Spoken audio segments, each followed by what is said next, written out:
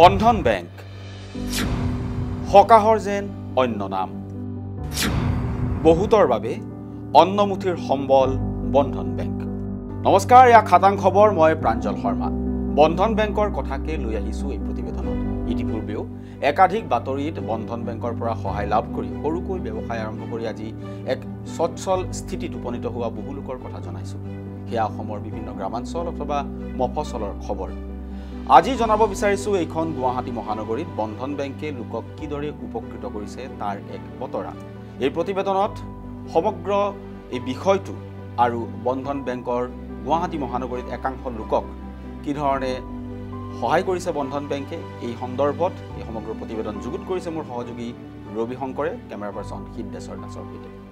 বন্ধন bank দেশৰ অন্যতম bank তথা বিত্ত সেৱাৰ প্ৰতিষ্ঠান বন্ধন বেংক। সাধাৰণতে বিভিন্ন বিত্তীয় বেংকৰ বিৰুদ্ধে নেতিবাচক খবৰ সম্প্ৰচাৰিত হোৱা আমি দেখা পাওঁ। কিন্তু আজি আপোনালোকক দেখুৱাম এক ইতিবাচক খবৰ। ইতিবাচক খবৰ বন্ধন বেংকৰ। বন্ধন বেংকৰ সহায় লাভ কৰি বন্ধন বেংকে প্ৰদান কৰা ঋণ লাভ কৰি গুৱাহাটী মহানগৰীৰ পাণ্ডুৰ কেইগৰাকীমান স্থানীয় মহিলাই অৰ্থনৈতিকভাৱে স্বাৱলম্বী হৈছে। তেওঁলোকে তেওঁলোকৰ ব্যৱসায় চলাই লৈ গৈছে। খাটাং খবৰ আজিৰ এই বিশেষ প্ৰতিবেদনৰ জৰিয়তে সেই কেইগৰাকী মহিলাক আপোনালোকৰ সন্মুখত আমি দেখুওৱাৰ যত্ন কৰিম। একেটি পৰিয়ালৰ শাহু আৰু বোৱাৰী নাম কান্তা দে আৰু স্বপ্না দাস। দুয়োগৰাকী মহিলাই বন্ধন বেংকৰ পৰা দুহেজাৰ বাৰ চনত পঞ্চাছ হাজাৰ টকাৰ ঋণ লৈ আজি হৈ পৰিছে স্বাৱলম্বী। পশ্চিম মালিগাঁৱৰ পাণ্ডুত কাপোৰৰ দোকান স্থাপনেৰে তেওঁলোকে সুন্দৰভাৱে নিজৰ জীৱন আৰু জীৱিকা আগুৱাই লৈ গৈছে। দোকানখন কেতিয়া স্থাপন কৰিলে? দুহেজাৰ বাৰতে স্থাপন কৰিলে। লোন লৈছিল? মইতো মোৰতো আগতে ফোন লোন লৈছোঁ। তাৰপিছত বোৱাৰী লৈছে। মই যেতিয়া লৈছোঁ তাৰপিছতে দোকানখন দিছে অলপ অলপ পইচা। ক'ৰ পৰা লোন লৈছিলে? বন্ধন ইয়ে বন্ধন পৰা। অঁ অঁ। মই লৈছোঁ দুই হাজাৰ একত পৰা। বহুত দিন হৈছে। দুই হাজাৰ পোন্ধৰতে লৈছে। তাৰ আগতে অলপ কেপিটেল আছিল সেইটো দি কিনে অলপ অলপ দি কিনে ৰখি আছে মানে অলপ বস্তুখিনি কিনি কিনে তাৰপিছতে আম, বোৱাৰীত যেতিয়া লৈছে তেতিয়া মানে দোকানখন বহুত বস্তু ওলাইছে বহুত বিক্ৰী হৈছে আৰু বহুত উন্নতি হৈছে। পঞ্চাছ হাজাৰ। অঁ। মূলধনেৰে আপোনালোকে দোকানখন আৰম্ভ অঁ অঁ আৰম্ভ কৰিছোঁ। গ্ৰাহকসকল অঁ গ্ৰাহকনে পাড়াৰ চব লগত আহে কিবা পাৰ্টি চাৰ্টি হ'লে আমাৰ ইয়াতে আহে। আহি কিনে বস্তুখিনি লৈ যায়।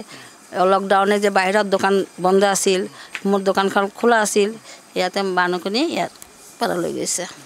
বাইদেউ আপুনিও এক- একেলগে জড়িত হৈ আছে? অঁ অঁ একেলগতে জড়িত হৈ আছোঁ। অঁ একে একেলগে আৰম্ভ কৰিছোঁ আমি দুয়োগৰাকীকে। মানে ইয়াৰ পৰাই শাহু মাৰ পৰা ছাপৰ্ট পায়ে মই মানে ষ্টাৰ্ট কৰিলোঁ আৰু কৈছে মোক যে বন্ধনৰ পৰা লোন লৈ পিনি তুমি কৰা ঘৰত কেলৈ বহি থাকিবা। ঘৰত বহি থকাটো আজিকালি মানে মাইকী মানুহৰ ঘৰত বহি থাকিব নালাগে। সেইটোৰ কাৰণে মই ক'ৰ পৰা এতিয়া টকা ক'ৰ পৰা পাম বুলি ভাবি মানে তেতিয়া শাহু মায়ে ক'লে ময়ো বন্ধন লৈ আছোঁ তুমিও বন্ধন লোৱা বন্ধনৰ পৰা লৈ পিনিয়ে ষ্টাৰ্ট কৰি দিয়া বস্তুটো। তে বন্ধনৰ পৰা লৈ কিনি লাহে লাহে মানে ষ্টাৰ্ট কৰিলোঁ আৰু এতিয়া মানে বহুত আগবাঢ়িলোঁ আৰু। বাকী আপোনালোকৰ দোকানত কি কি পায় এতিয়া ইয়াত? এতিয়া লেডিজ গাৰ্মেণ্ট মানে গোটেই বস্তুৱে পায় লেডিছৰ কিডছৰ গোটেইকেইটাই পায় আৰু। শাৰী আছে আমাৰ ইয়াত শাৰী আছে। লেডিছৰ নাইটি আছে কুৰ্তি আছে মানে বহুত বস্তু আছে। এতিয়া চাই আছে পূৰা পূজাৰ মানে এতিয়াও লোন লৈছোঁ লোন লৈ পূজাৰ মাল অলপ উঠাইছোঁ। পূজাৰ তাৰপিছত বিক্ৰী কৰি আকৌ মানে লোনটো দিম আকৌ উঠাম এনেকৈ চলি আছোঁ আৰু। সহায় লাভ কৰিছে উপকৃত হৈছে? অঁ অঁ অঁ হৈছোঁ।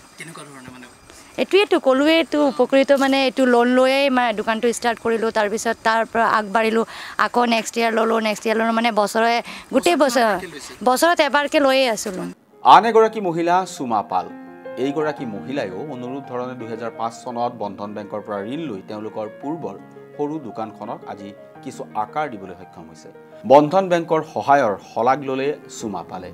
মই বেন বন্ধন বেংকৰ পৰা লৈছিলোঁ। মই টু থাউজেণ্ড ফাইভৰ পৰা পাঁচ হাজাৰ টকা দি ষ্টাৰ্ট কৰিছোঁ। এতিয়া আমাৰ লোন আছে এক লাখ টকা। অঁ অঁ। আপুনি যিখিনি লোন লৈছে সেইখিনি লাভটো পাইছে? অঁ লাভটো পাইছোঁ। মই দোকানটো আগতে সৰু আছিল এতিয়া ডাঙৰ হৈছে বিজনেছটো ডাঙৰ হৈছে। অঁ মোৰ প্ৰফিটেই হৈছে লছ হোৱা নাই। অঁ। পৰিয়াল চলাই আছে অঁ। কোন কোন আছে? মই হাজবেণ্ড আৰু মোৰ ছোৱালী। বন্ধন বেংকৰ লোনেৰে আপুনি অঁ ভালকৈ চলি আছে। আৰু লকডাউনতো আমি ভালকৈ কিস্তিটো চলাই আছোঁ। অসুবিধা পোৱা নাই এতিয়ালৈকে। লকডাউনত একো অসুবিধা হোৱা নাছিল? উম, অসুবিধা মানে হ'লেও মই আমি চলাই আছোঁ বেংকে সহায় কৰিছে? সহায় কৰিছে। অঁ। এইগৰাকী পম্পা পাল বন্ধন বেংকৰ পৰা লাভ কৰা ঋণৰ ধনেৰে দোকান খুলি ব্যৱসায় বৃদ্ধি কৰাই নহয় দোকানৰ লাভাংশৰে। মহিলাগৰাকীয়ে নিজৰ পুত্ৰক আজি স্নাতকৰ বিজ্ঞান শাখাত পঢ়ুৱাবলৈও সক্ষম হৈছে বুলি কৈছে। আমি পাঁচ হাজাৰ টকা লৈ কেনে দোকানটো খুলিছিলোঁ আগতে সৰুকৈ। আজি দহ বাৰ বছৰ হ'ল। আমাৰ এতিয়া এইটো দি কেনে মই ল'ৰা দুটাক পঢ়াইছোঁ সংসাৰটো চলি আছে। এনেকৈ আমি চলি আছোঁ। এতিয়া আমাৰ ব্যৱসায়টো ভালেই চলি আছে। লোনো দি আছোঁ ভালকৈ সংসাৰটো চলি আছে। এতিয়া ইছে ছায়েন্সত পঢ়ি আছে। কভিডে জুৰুলা কৰা দুখ সময়বোৰৰ কথা নতুনকৈ কোৱাৰ হয়তো কোনো প্ৰয়োজন নাই। এইসকল কৰ্মোদ্যমী মহিলাক কভিডে আলৈ আথানি কৰাৰ সময়তে এওঁলোকৰ কাষত থিয় দিছে বন্ধন বেংক। তেনে দুৰ্যোগৰ সময়ত বন্ধন বেংকৰ সহায় লাভ কৰি অৰ্থনৈতিক অৱস্থা ভাললৈ ঘূৰি অহাৰ কথা পুনৰ দোহাৰিছে বন্ধন বেংকৰে আন এগৰাকী উপভোক্তা তথা ঋণ লাভ কৰা কাকলি দে নামৰ এইগৰাকী মহিলাই।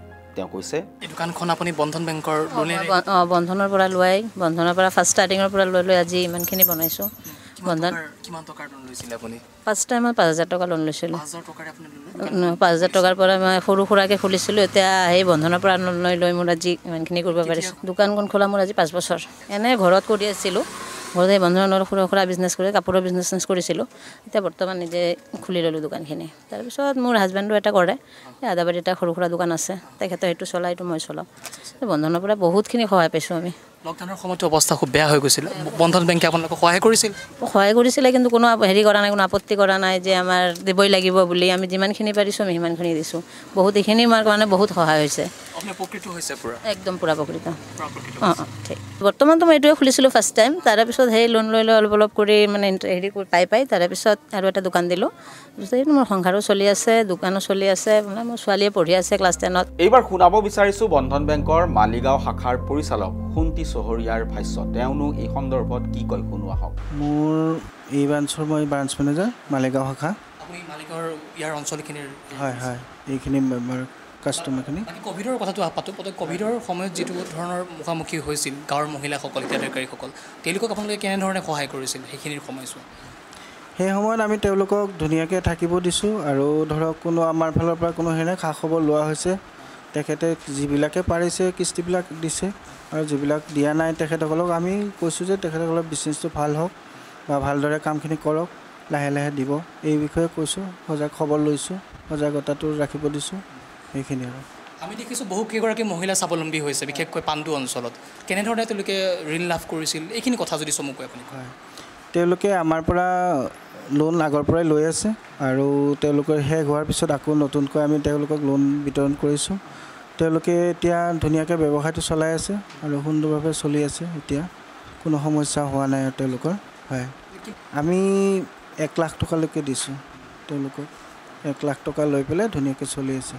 আজি আমি প্ৰস্তুত কৰা এই প্ৰতিবেদনত দেখুওৱা কেওগৰাকী মহিলাই অৰ্থনৈতিকভাৱে স্বনিৰ্ভৰশীল হৈ পৰাৰ এই খবৰ সকলোৰে বাবে আশাব্যঞ্জক খবৰ। ক'ভিডৰ প্ৰথম ঢৌৰ সময়ছোৱাত বহিৰাজ্যৰ পৰা উভতা বহু যুৱক গুৱাহাটীৰ ৰেল ষ্টেচনত ভিৰ কৰা পৰিলক্ষিত হৈছিল। তেনেস্থলত বৰ্তমানেও কিন্তু ৰাজ্যৰ অৰ্থনীতিৰ অৱস্থা অতি তথৈবচ। এনে প্ৰেক্ষাপটত বন্ধন বেংকৰ সহায় লাভ কৰি ৰাজ্যৰ একাংশ মহিলাই স্বাৱলম্বী হোৱা ঘটনাই কিন্তু ৰাজ্যৰ ভাঙি পৰা দুৰ্বল অৰ্থনীতিৰ কাৰণে এক সুখবৰ হিচাপে পৰিগণিত হৈছে। ভিডিঅ' জাৰ্নেলিষ্ট কৃতেশ্বৰ দাসৰ সহযোগত পাণ্ডুৰ পৰা ৰবি শংকৰৰ ৰিপৰ্ট খাটাং খবৰ।